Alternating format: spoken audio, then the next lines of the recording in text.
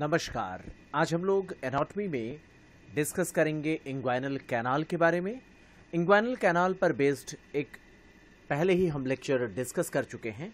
यहाँ पर हम ज़्यादा स्पेसिफिक होते हुए उन स्ट्रक्चर्स की बात करेंगे जो इंग्वाइनल कैनाल से होकर के गुजरती है।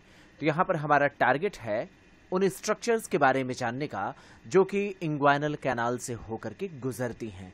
यहाँ पर याद रखिएगा इंग्वाइनल कैनाल से होकर के गुजरने वाली स्ट्रक्चर्स दो पार्ट्स में डिवाइड की जा सकती हैं। उन स्ट्रक्चर्स को दो पार्ट्स में डिवाइड कर सकते हैं, एक पार्शियल और दूसरा इंटायर वो स्ट्रक्चर जो पार्शियली इस कैनाल से होकर के गुजरती हैं और वो स्ट्रक्चर जो इससे इंटायरली होकर के गुजरती हैं, उनके बारे में अब हम बात करेंगे।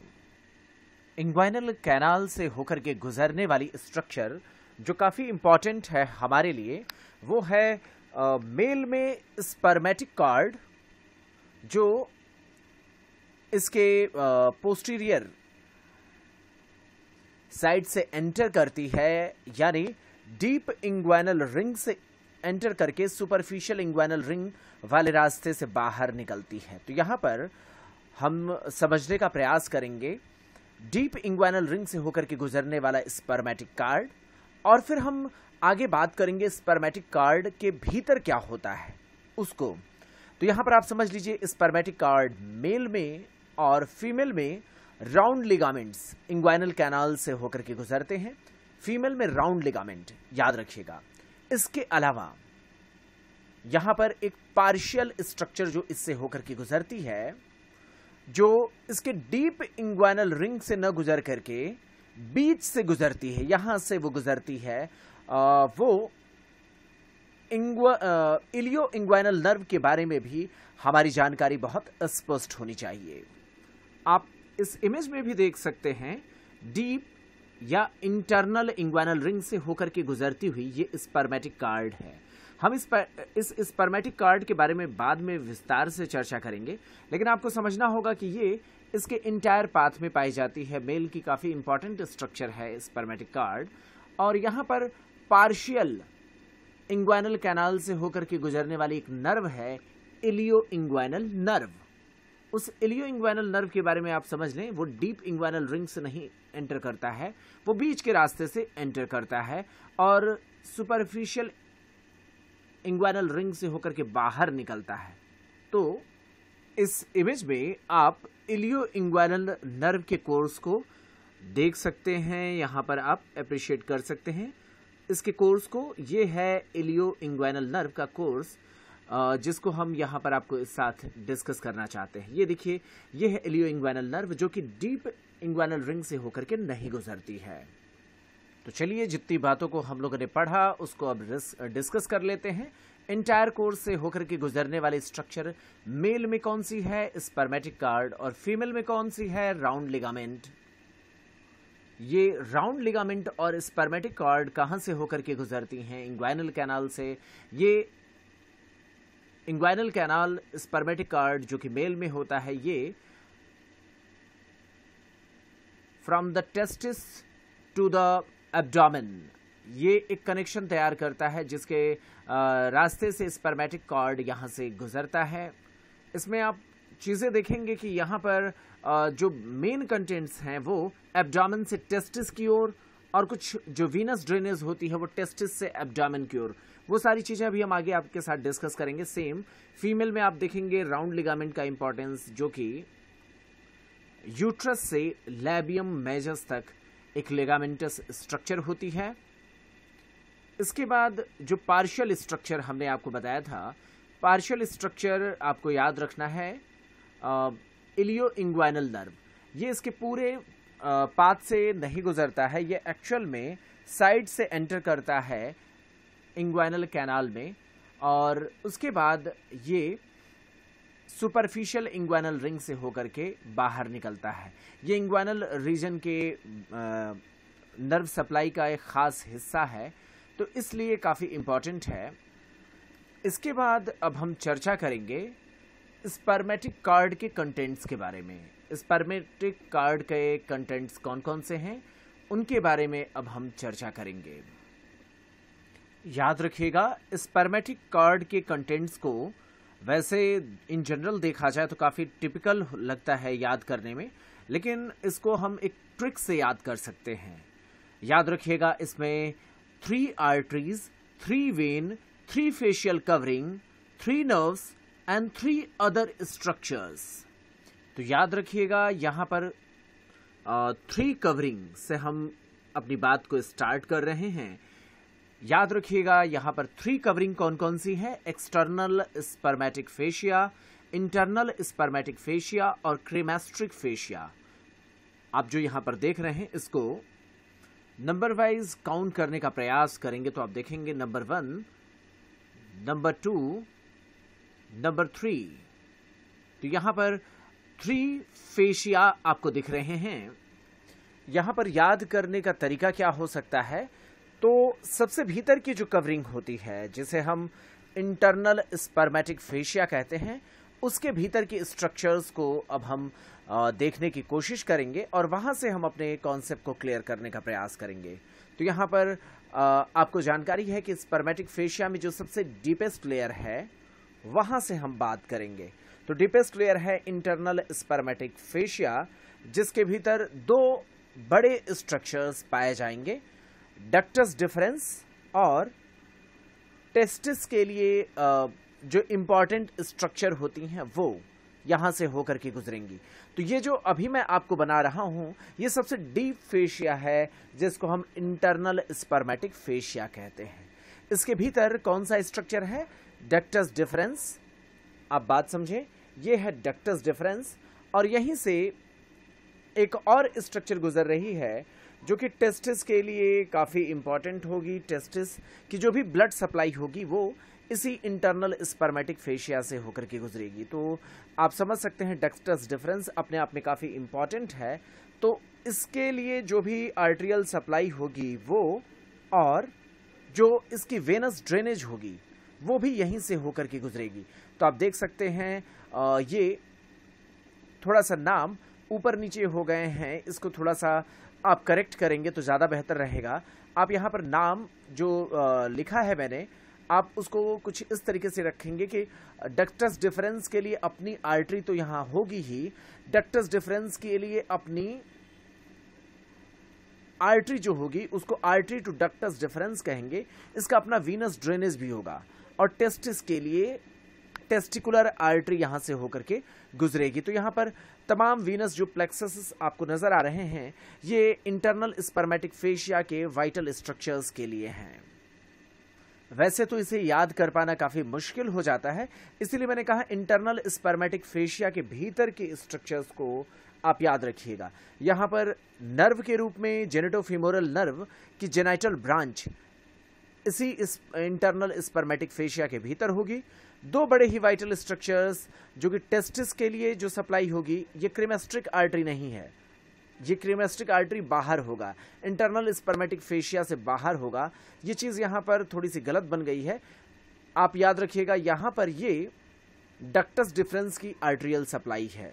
तो डक्टस डिफरेंस की अपनी आर्ट्रियल सप्लाई टेस्टिस की आर्ट्रियल सप्लाई इन दोनों ही स्ट्रक्चर की अपनी वीनस ड्रेनेज पेम्पनी फॉर्म प्लेक्सस के रूप में और genital branch of genitofemoral nerve. ये चीज़ें इंटरनल स्पर्मेटिक फेशिया से होकर के गुजरेंगी। तो आप यहाँ पर इतनी चीज़ों को देखने के अलावा एक और चीज़ देखेंगे, प्रोसेसस वेजाइनलिस के रेमिनेंट्स को भी। तो यहाँ पर रेमिनेंट्स ऑफ़ प्रोसेस वेजाइनलिस भी इंटरनल स्पर्मेटिक फेशिया के भीतर ही पाया जाएगा। इसके बाद हम इंटरनल स्पर्मेटिक फेशिया से बाहर की आउटर कवरिंग पर जब बात करेंगे तो दो कवरिंग और बाहर है और वहाँ की जो लेयरिंग है, उसके भीतर कौन सा स्ट्रक्चर पाया जाएगा, उसको अब हम लोग समझने का प्रयास करेंगे। तो यहाँ पर जूम करने से आप देख सकते हैं, दो बड़े ही वाइटल स्ट्रक्चर हैं। एक है टेस्टिस के लिए जो जा रही सप्लाई आर्ट्रियल सप्लाई टेस्टिस की, जिसके बारे में मैंने आपको बताया था टेस्टिस की जो भी वीनस ड्रेनेज होगी टेस्टिकुलर वेन जो कि पैम्पनी फॉर्म प्लेक्सस के रूप में नज़र आएगा। कुछ सिंपैथेटिक्स होंगे और लिम्फेटिक चैनल्स भी यहाँ पर होंगे। टेस्टिस से रिलेटेड है। नीचे की ओर आप देख रहे हैं, मैंने आपको बताया था वास डिफरेंस का पार्ट होगा। तो वास डिफरेंस के जो भी पार्ट्स हो सकते हैं, वो यहाँ पर आप देखेंगे। और यहाँ पर आर्ट्रियल सप्लाई होगी वास डिफरेंस की वास डिफरेंस की वीनस ड्रेनेज होगी। उसके संबंधित जो लिम्फेटिक्स होंगे, वो यहाँ पर होंगे। और इसके अलावा प्रोसेसस वेजाइनलिस के पार्ट्स यहाँ पर नज़र आएँगे। तो प्रोसेस वेजाइनलिस किस के रेमिनेंट्स क्या हैं, इसके बारे में हम आगे आपके साथ चर्चा करेंगे। लेकिन याद रखिएगा इंटरनल स्पर्मेटिक फेशिया के भीतर ये हम सारे कंटेंट्स को अभी डिस्कस किए हैं। Internal spermatic fascia fascia transversalis से बनता है। कैसे बनेगा इसको अभी मैं आपको जस्टिफाई करने का प्रयास करूँगा। इसके बाद हम कुछ आ, कुछ ऐसे स्ट्रक्चर्स के बारे में बात करेंगे जो इंटरनल स्पर्मेटिक फेशिया और क्रिमेस्ट्रिक फेशिया के बीच में पाए जाते हैं। तो यहाँ पर देखिए अभी सिर्फ़ इतना समझ लीजिए क्रिमेस्ट्रिक फेशिया होती है और इंटरनल स्पर्मेटिक फेशिया होती है। इसके बीच में जो स्ट्रक्चर पाया जाता है वो है नाम से ही आप समझ सकते हैं क्रिमेस्ट्रिक फेशिया के भीतर क्या होगा? क्रिमेस्ट्रिक आर्टरी होगी और क्रिमेस्ट्रिक वेन होगा। इसके अलावा आप देखेंगे genital branch of genitofemoral nerve, जिसको कुछ इस इमेज में यहाँ दिखाया गया है, जबकि कुछ बुक्स में दिखाया जाता है। कुछ बुक्स में इसको मेंशन किया जाता है कि ये इंटरनल स्पर्मेटिक फेशिया के भीतर होता है। तो क्रिमेस्ट्रिक फेशिया के भीतर क्या है? Cremasteric artery, cremasteric vein. और आप चाहें तो ये जैसा इस इमेज में दिखाया गया genital branch of genitofemoral nerve को आप दिखा सकते हैं, या फिर इसको आप अंदर भी कह सकते हैं। खैर, इस तरीके से हमने कवर कर लिया क्रिमेस्ट्रिक फेशिया को। क्रिमेस्ट्रिक फेशिया के बाहर आप देखेंगे एक्सटर्नल स्पर्मेटिक फेशिया कैसे याद करेंगे? तो आप देख सकते हैं सबसे बाहर है इसलिए एक्सटर्नल स्पर्मेटिक फेशिया है। इसमें इलियो इंग्वानल नर्व सिचुएटेड होता है। तो आप क्या कहेंगे? इलियो इंग्वानल नर्व की पोजीशनिंग कहाँ पर होती है? तो चलिए रूल ऑफ़ नाइन को just sorry rule of three को या फिर न्यूमोनिक्स ऑफ़ थ्री को यहाँ पर जस्टिफाई कर लेते हैं। तो मैंने आपको बताया था थ्री आर्टरीज हैं। एक आर्टरी टेस्टिस के लिए, दूसरी आर्टरी यहाँ पर वास डिफरेंस के लिए और तीसरी आर्टरी क्रेमेस्ट्रिक आर्टरी है। तो थ्री आर्टरीज हो गई। वेन्स भी इसी के करस्पॉन्डिंग होंगे, ये थ्री वेन्स भी कवर हो गए. इसके बाद थ्री फेशियल कवरिंग है, ये बात भी मैंने आपको बता दिया. थ्री नर्व्स होते हैं, उसको यहाँ पर देख लीजिए. यहाँ पर एक नर्व इलियो दूसरी नर्व है जेनेटोफिमोरल और तीसरी नर्व है यहाँ पर जो सिंपैथेटिक नर्व्स अराउंड टेस्टिस आपको दिख रहे हैं, ये तीसरी नर्व है. तो इस तरीके से थ्री नर्व्स हमने आपको दिखा दिए थ्री आर्टरी आपको दिखा दिया थ्री आपको वेन्स दिखा दिए थ्री कवरिंग दिखा दिया। इसके अलावा थ्री स्ट्रक्चर्स आपको नज़र आते हैं और भी। तो आप देख सकते हैं यहाँ पर वास्ट डिफरेंस है। आ, मैंने आपको बताया था प्रोसेस वेजाइनलिस यहाँ पर उसके रेमेनेंट्स नज़र आएँगे और लिम्फेटिक्स उसको भी आपको भूलना नहीं है। तो जो बातें हम लोगों ने आपके साथ डिस्कस किया, उसको एक बार फिर से आप रिकॉल कर लें। कंटेंट क्या है स्पर्मेटिक कार्ड का? Three arteries three veins three fascial covering three nerves और थ्री अदर स्ट्रक्चर्स इसमें मैंने आपको बताया था ना वास्ट डिफरेंस को याद रखना है प्रोसेस वेजाइनलिस को याद करना है और जहाँ जहाँ अप्रोप्रिएट लिम्फेटिक्स हैं, उनकी पोजिशनिंग को भी आपको स्ट्रक्चर्स में देखना है। अब इसके बाद हम लोग समझने का प्रयास करेंगे कि स्पर्मेटिक कॉर्ड जिस रास्ते से होकर के गुजरता है वो इंग्वाइनल कैनाल बनता कैसे है? तो उसके बारे में अब हम लोग चर्चा करेंगे। तो यहाँ पर हम आ, ये जानने का प्रयास करेंगे कि एक्चुअल में जो हमारे एंटीरियर एब्डामिनल वॉल की लेयरिंग है वो टोटल एट की संख्या में है। तो यहाँ पर उन सारी चीज़ों को आपको याद रखना है। मैंने आपको बताया कितने लेयर्स होंगे? एट लेयर्स तो one two three four five six seven and eight कहाँ से शुरू होगा? तो आप देखेंगे सबसे बाहर होता है स्किन उसके बाद सुपरफिशियल फेशिया उसके बाद होता है एक्सटर्नल ऑब्लिक फिर इंटरनल ऑब्लिक उसके बाद ट्रांसवर्स ट्रांसवर्सस एब्डोमिनिस फिर फेसिया ट्रांसवर्सैलिस फिर एक्स्ट्रा पेरिटोनियल टिश्यू और उसके बाद होता है peritoneal sorry parietal layer of peritoneum तो इतने सारे लेयर्स एक्सटर्नल एब्डोमिनल वॉल की लेयर्स में काउंट किए जाते हैं। यहाँ पर उन सारी लेयरिंग को हम काउंट कर सकते हैं। नंबर वन यहाँ पर आप स्किन को देख रहे हैं। उसके बाद सुपरफिशियल फेशिया है। सुपरफिशियल फेशिया में आप देखेंगे दो तरीके की फेशिया है। एक है फैटी लेयर के रूप में आप देख सकते हैं फैटी लेयर के रूप में है यहाँ, और इसकी जो फेशिया है, उसको कैंपर्स फेशिया कहते हैं। तो ये दूसरी लेयर हो गई।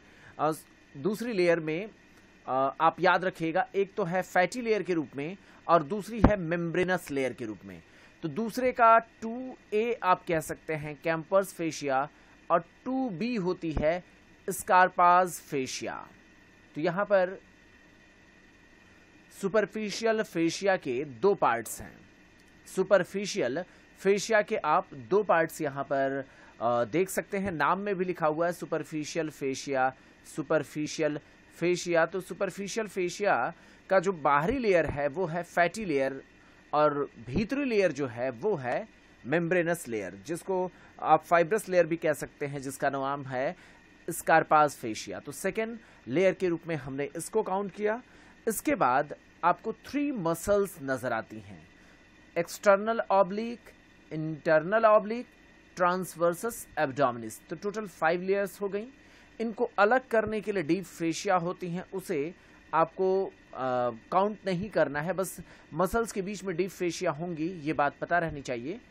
वैसे याद किया तो स्किन फिर सुपरफिशियल फेशिया सुपरफिशियल फेशिया के बाद थ्री मसल्स की लेयर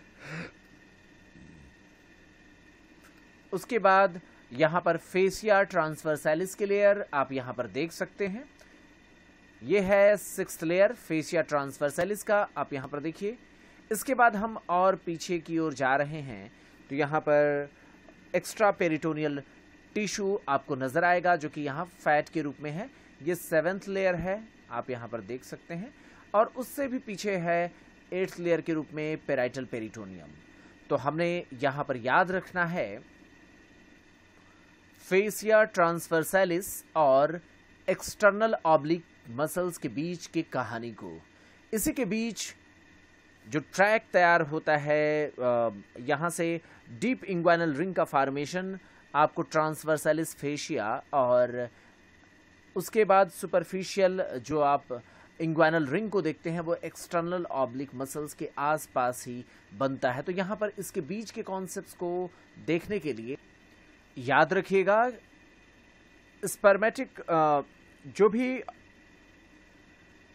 इंग्वाइनल कैनाल के बनने की प्रक्रिया होती है वो फेसिया ट्रांसवर्सैलिस से एक डीपर यहाँ पर एक गड्ढा बनते हुए आ, सारे के सारे पार्ट्स यहाँ पर आ, गुजरते हैं। तो इसी वजह से यहाँ पर जो कवरिंग आ, हम स्पर्मेटिक कॉर्ड की देखते हैं, वो एक्चुअली वो इंग्वाइनल कैनाल से गुजरते समय स्पर्मेटिक कॉर्ड की कवरिंग बनाने में मदद करते हैं। तो आप देखेंगे जो स्पर्मेटिक कार्ड है, वो एक्चुअल में, यहाँ पर फेसिया ट्रांसवर्स ट्रांसवर्सैलिस के पार्ट से होकर के ये डीपली एंटर करता है और यहाँ की जो भी लेयर्स होती हैं, उनको अपने साथ लेकर के बाहर की ओर चला आता है। तो इसी वजह से आप जब स्पर्मेटिक कॉर्ड की थ्री लेयरिंग्स को आप देखते हैं तो उसमें इन्हीं के रेमिनेंट्स या इन्हीं के मॉडिफाइड फॉर्म्स आपको देखने को मिलते हैं। कैसे? उसके बारे में अभी मैं आपके साथ चर्चा करूँगा। अभी बस आप इतना समझ लें कि स्पर्मेटिक कार्ड जब इंग्वाइनल कैनाल से होकर के गुजरता है तो स्पर्मेटिक कार्ड की जो थ्री लेयर्स होती हैं वो इन्हीं की वजह से बनती हैं। यहाँ पर आप देखेंगे, सबसे बाहरी लेयर स्पर्मेटिक कार्ड की एक्सटर्नल ऑब्लिक मसल के एपोनिरोसिस से डिराइव्ड होती है। तो external spermatic fascia actually external oblique muscle के एपोनिरोसिस से डेवलप होती है। जो सबसे भीतरी इंटरनल स्पर्मेटिक फेशिया होती है, वो फेशिया ट्रांसवर्सैलिस के मदद से बनती है। तो फेशिया ट्रांसफरसैलिस की मदद से सबसे भीतरी लेयर बनी, इंटरनल स्पर्मेटिक फेशिया बनी, सबसे बाहरी external spermatic fascia external oblique muscle के एपोनिरोसिस से बनी। और बीच के जो दो लेयर्स हैं, बीच के दोनों लेयर्स एक साथ कंबाइंड हो जाते हैं और ये क्रिमेस्ट्रिक फेशिया बनाते हैं। तो जैसा कि मैंने आपको बताया था ना, ये इंटरनल ऑब्लिक और ट्रांसवर्सस एबडोमिनिस ये जो दो मस्कुलर लेयर हैं, ये मिलकर के क्रिमेस्ट्रिक फेशिया बनाते हैं।